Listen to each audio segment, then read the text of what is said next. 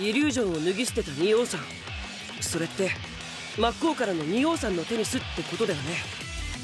金太郎じゃないけどゾクゾクするよ。そしてシングルス2は雪村さんと手塚部長。けど雪村さんの様子いつもと違うような気が。